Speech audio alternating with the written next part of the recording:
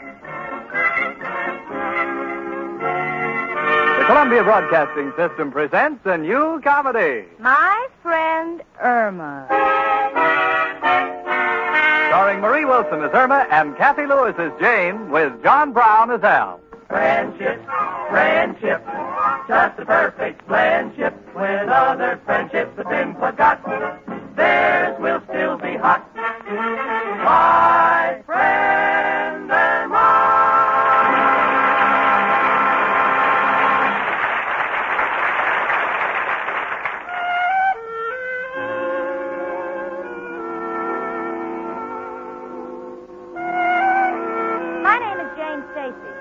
I live with my friend Irma.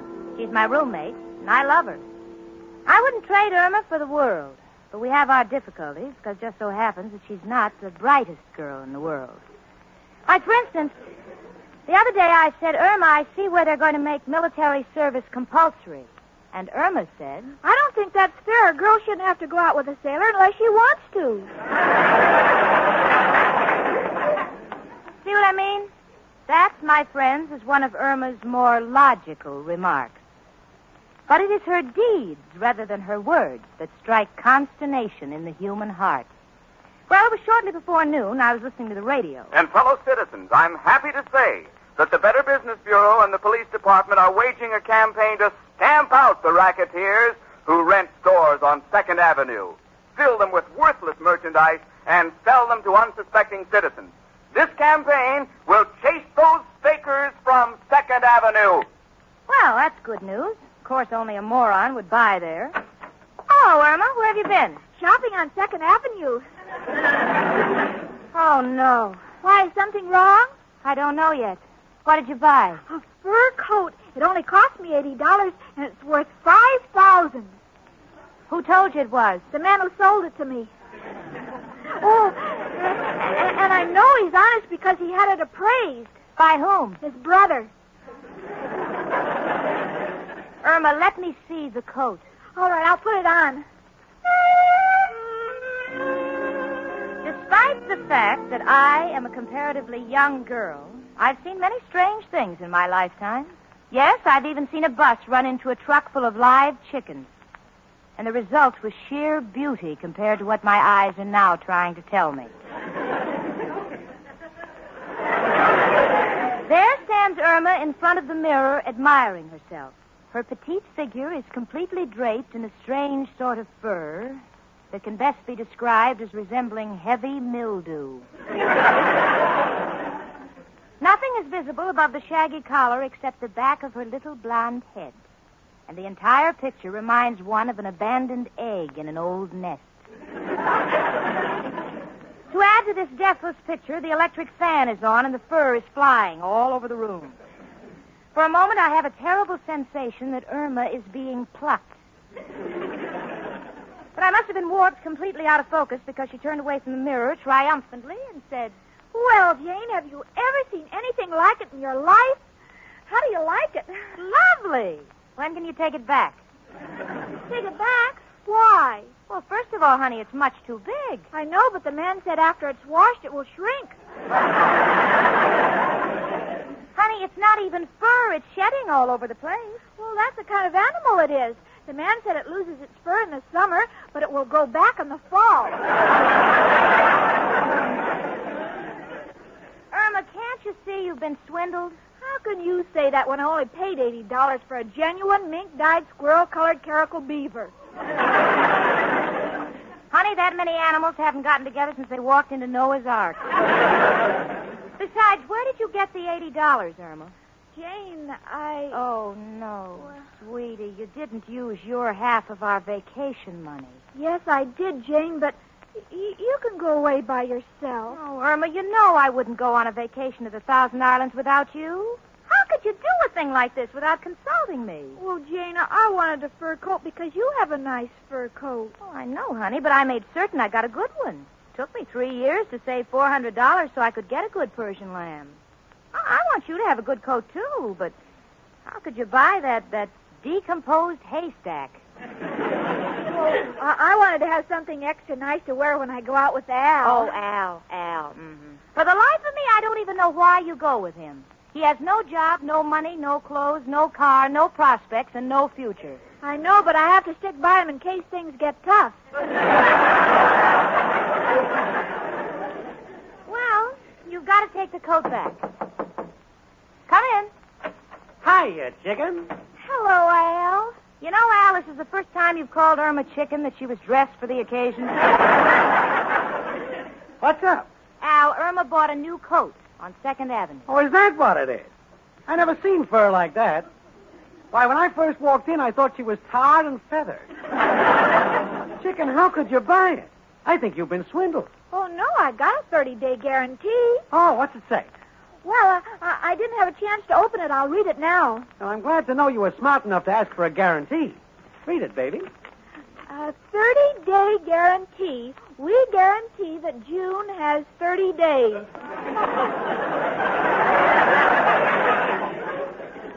You know, I'm surprised they even put that in writing. Come in. Hello, everybody. Tell me. Say, Jane, does Mrs. O'Reilly know about this? What? You're keeping a dead grizzly bear in the apartment? Professor Kropotkin, that's Irma. She bought a fur coat.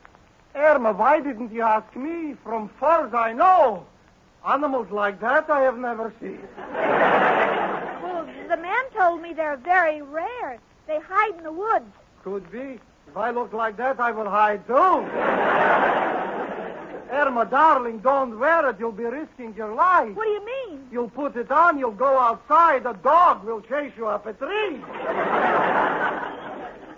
You Professor, you'd think she'd know better. I've told her a dozen times if she wants to shop to use my charge account. After all, that's what a charge account is for. To send things back. And Second Avenue, of all places. Well, even the cops are afraid to shop there. Second Avenue, what they did to me. I remember I just came off the boat. I went to Second Avenue for a suit. What a suit. They sold me red pants and a blue jacket. Well, you couldn't wear that. Of course not. Olga had a white dress. When we walked down the street, everybody saluted. but Kropotkin, they can't fool. I said, gentlemen, this is one monkey you don't give the business to. I may be a foreigner, but I know what they're wearing. I demand satisfaction. Did you get it? Certainly. Have you seen my purple sports jacket with the yellow knickerbocker? A stand down. Well, Irma, my personal feeling is that you got taken advantage of. But that's the tragedy of life. Goodbye. Gee, Professor Kropotkin didn't like the coat either. Yeah, I know, honey, but that's why we have to get your money back, you see? I realize that there are some very legitimate stores on Second Avenue. You, you just happen to have gotten stung. Now, what was the name of the store where you bought this glorified throw rug? Boothby's. Square Deal Boothby's. It's an established firm. See, it says on the box, established June 1947. What time? Oh, Jane, I don't know what you're driving at because I know that Mr. Boothby is honest. When I gave him the money, he didn't even ask for a receipt. Irma. Oh, Irma, y- you've been swindled. But, but I know who'll get us action on this. Come on, Irma. Come on, Al. We're going right over to the Better Business Bureau.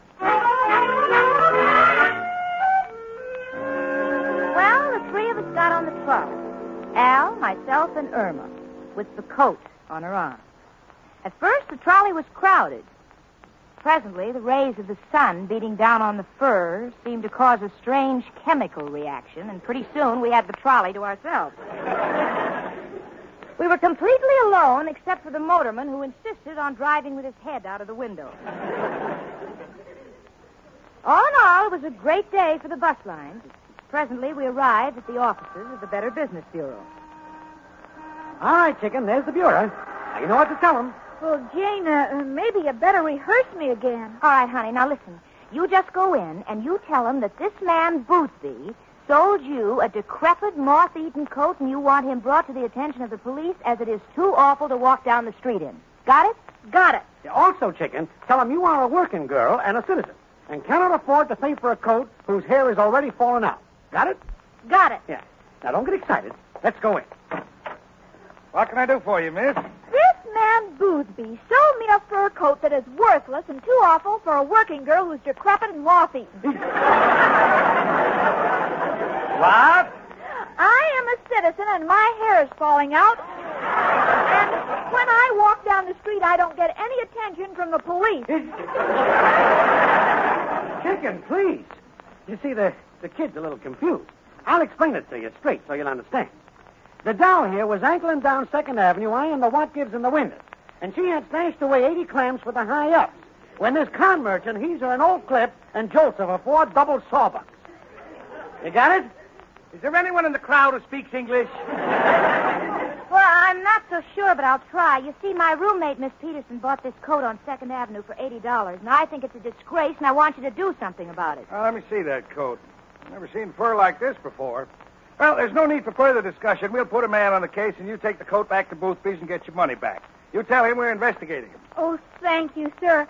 I don't know how to repay you. Are you allowed to take tips? Ah, no thanks. Well, uh, there must be something I can do. Have you any children? Yes. Good, I'll send you a card on Father's Day. Bless you. Next. Irma, there's the door. Let's tiptoe out. Hurry, chicken. You can grab that trolley and take the coat back. I'd go with you, but I got a big deal brewing. Well, see you later. All right, Al, so long.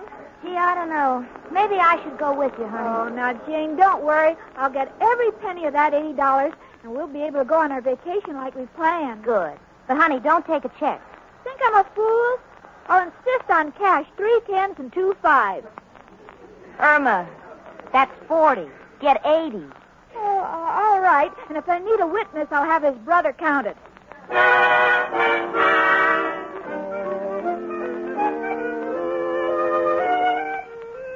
Well, an hour passed. I was in the apartment waiting for Irma to return.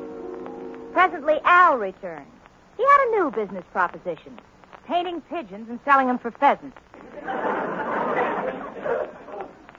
Well, naturally, I wasn't interested. I was waiting for Irma to come home with the $80. Presently, the door slowly opened. It was Irma. Hello, Irma. Hello, Jane. Well, honey, I see you got rid of the coat. Yes, I did. Did Mr. Boothby give you back your $80? No, he couldn't. Why not? I lost the coat.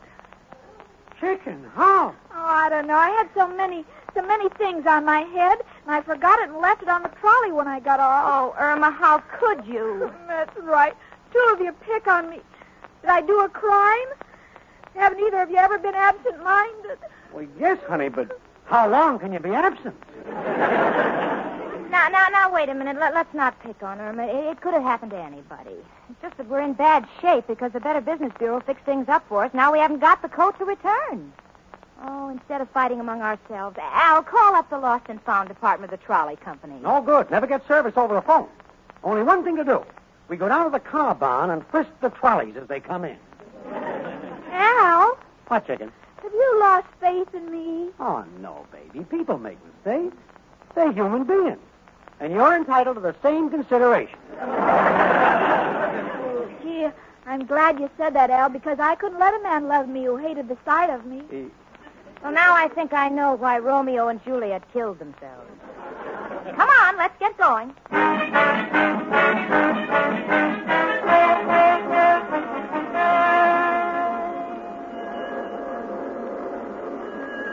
Well, here we are at the car barn. I don't know how to describe it. You ever spent a warm, languid June evening under a full moon at midnight in a car barn? You haven't? My friends, life has passed you by. Words can never capture the true color of the scene. Red trolleys going out, green trolleys coming in. Once in a while, for a shocker, they sneak in a yellow one. but Irma's coat must be found. Al, Yes, Jane. any trace of the coat? Not even a whiff. Oh. We've been here two hours and my feet are just killing me. Irma, think. Can you remember the number of the trolley? No, I can't. But now I know why. Why? It wasn't a trolley, it was a bus.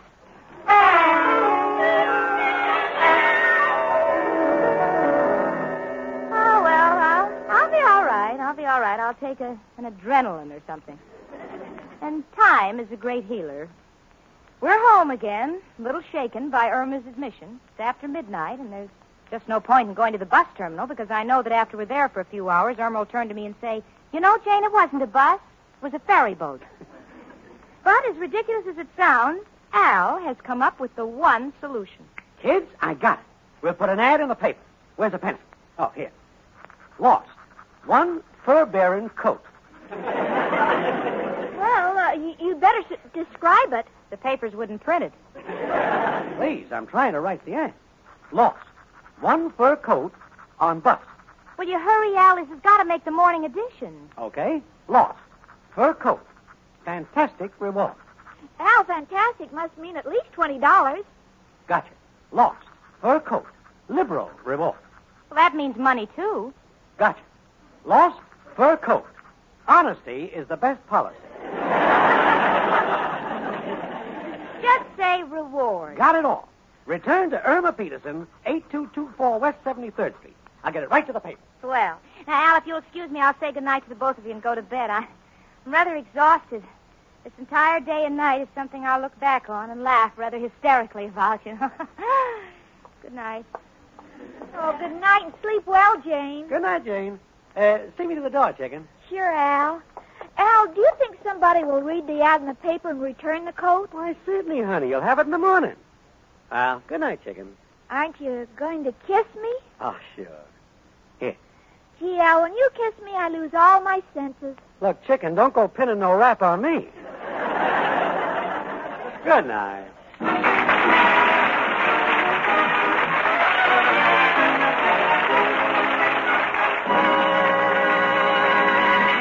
And now, between the acts of my friend Irma, it's the Sportsman Quartet with Lud Gluskin and his orchestra and their novel arrangement of My Adobe Hacienda.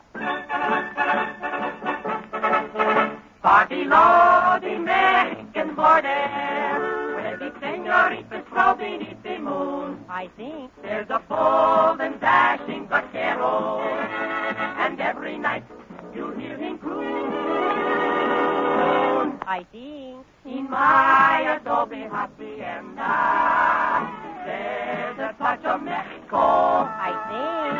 Cactus lovelier than orchids, blooming patio. I think. Soft feathered stars and the strum of guitar make every evening seem so sweet. I think. In my adobe hacienda, life and love are more complete. More complete. You think so? See, I think. In my adobe little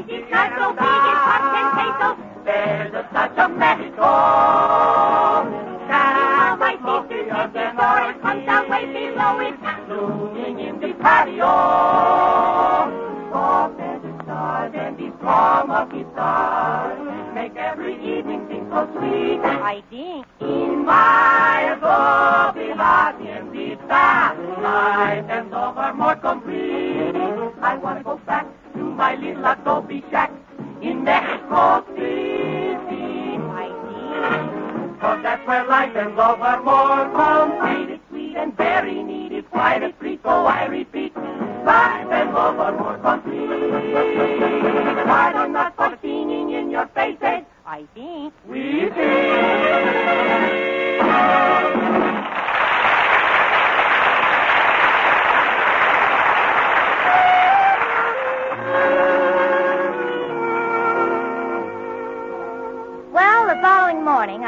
At work until 9.30, so I waited around to see if anyone answered the ad about Irma's lost coat. I was sure if anyone found the coat, we were bound to get it back because nobody in their right mind would keep it. Answer the door, honey. It may be someone returning the coat. Oh, all right. Oh, I better get the reward. Where are those cookies I baked? Irma, this calls for a reward, not a penalty. Come in. How do you do? I'm Mrs. Louise Cartwright. In my daily scrutiny of the newspapers, I chanced across your advertisement, and it may solve my dilemma. What do you mean? Yesterday, I was cruising down Madison Avenue in our open town car. I find it so much easier to dart in and out of traffic with the small car. When suddenly something came flying into the car and landed prone on my dear husband. And for moments he was loath to part with it because it was the first time in years he had hair on his head. That's my coat. Well, here it is. And it's been quite an experience. Uh, there, there's a $10 reward. Oh, my dear, I don't need the money. but I have a suggestion. Why don't you give it to some worthy charity like the Park Avenue Kennel Club for the preservation of underfed French poodles? you know, wonderful work they're doing, and every little bit helps. Good day. Oh, Jane, isn't it wonderful? I've got my coat back, and now I'm going right down and get my $80. Hello. Who? Oh, oh yes, Better Business Bureau. Yes, we we have the coat and we. Uh, what? Oh no. I see. Well, thanks. Irma, the coat is yours for keeps. Mr. Boothby has left town, and the police are after him with a warrant for swindling a hundred people. What a stupid businessman. That's no way to build up goodwill. You know what this means, Irma? No eighty dollars, no vacation. Well, Jane, you can go. Oh, honey, I told you I wouldn't go without you. Hiya, chicken. What's up, Jane? I'm late for work, Al. Irma will tell you. And Irma, when you hang that coat up, keep it away from my Persian lamb. I don't want my coat to catch the mange. I'll be seeing you. Chicken, what happened? Oh, Al, Boothby left town. Oh, well, don't cry, chicken. There's only one guy who can help. Well, Who but... Hello, Joe? Al. Got a fur coat to get rid of. Huh? Is it hot? Well, frankly, it's not so hot. you bought it on Second Avenue. Now, don't hang up, Joe. How can I get 80 bucks for this coat? Huh? Put 40 in each pocket. Joe, this is an emergency. What can we do? Uh-huh. Uh-huh. Uh-huh. Mm-hmm. Gotcha. Thanks, Joe. Chicken, our problem is solved. well how? We raffle off the coat by selling tickets around the neighborhood at a buck a throw. Well, is that honest? Of course, chicken. No matter how you look at it, this coat is worth a buck. Even if you only hang it in the window to frighten off prowlers. now listen to me, Irma. We print 120 tickets, get back our 80, give 40 to charity. You know that orphanage down the street. How about that? Well, gee, Al, that'll be sweet giving our money to charity. I like that. Chicken, we're clicking now. Gotta print the tickets. Where's that pencil? Well, Al, would Jane think it's all right? Honey, you know the faith Jane has in us. You know what she thinks about the two of us. Yes, I know. Well, here's the pencil, anyhow, Al. I like to live dangerously. now, monster raffle. Well, Al, do you think we ought to describe the coat in the first line? Get your point. Scratch out the monster. Make it grand raffle. Attention, men. Does your wife always talk about a fur coat? Take a chance on this one. It will leave her speechless. a genuine mink-dyed, squirrel-colored, caracal beaver. Figure it out, men. You can't go wrong at two bits an animal. Got it? Got it. Uh, come in. Irma, keep printing the ticket. Oh, hello, Kropotkin. How would you like to buy a ticket for a raffle? Oh, yes, Professor, please take one. This raffle is to get rid of my coat. Oh, your coat, Irma. Who is sponsoring this raffle? The Board of Health? Professor, part of this money is for charity. Remember, it's better to give than receive. I agree with you. A coat like that is better to give than receive. but, Irma, if it will help you get back your money, I'll buy one. Yeah, thanks, but we also want you to sell some. So you take 30, I'll sell 30, Mrs. O'Reilly will take 30, and Irma will sell 30. How can I sell 30? I haven't got that many enemies. Sell them to your friends and end the shortage. then tomorrow, the four of us meet, and we have the grand drawing.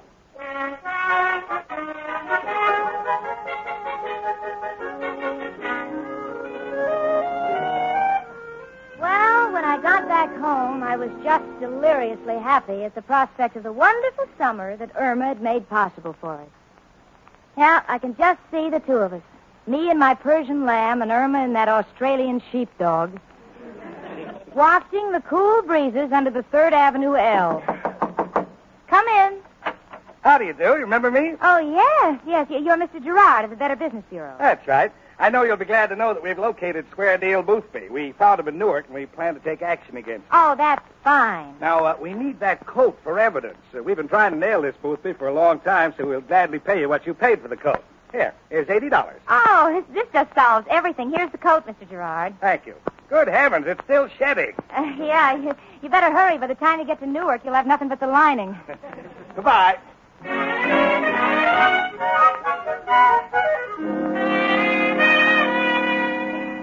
Well, Chicken, it's been a pretty tough day, but we did it.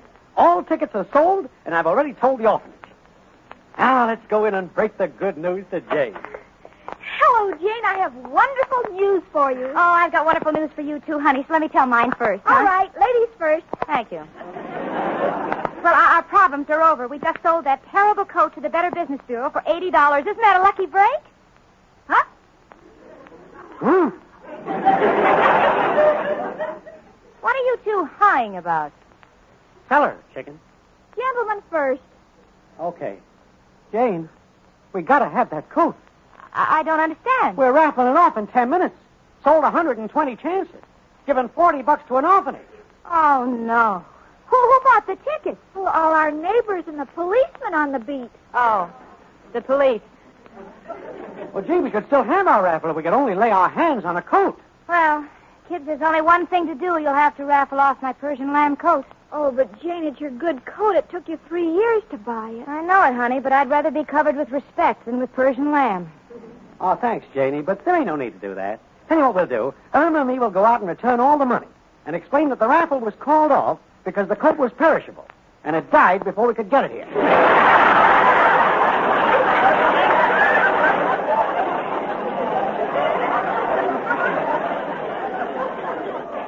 And the orphanage still gets the $40 that you promised them. Oh, but that means we'll only save half our vacation money. Well, it can't be helped, honey. A promise is a promise. Jane? Yeah? We can still go to the Thousand Islands on half our money. How? We'll only visit 500 of them.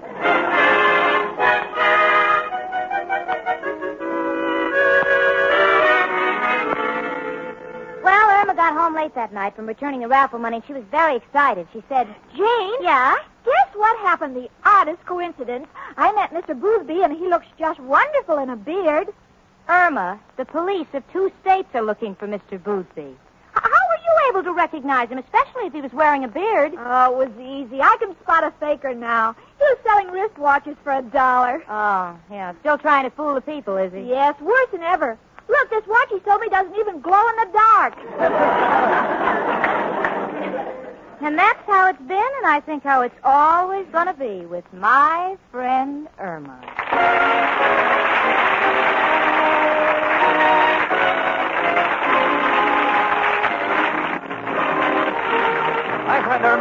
produced and directed by Cy Howard. The night script was written by Cy Howard, Parke Levy, and Stanley Adams.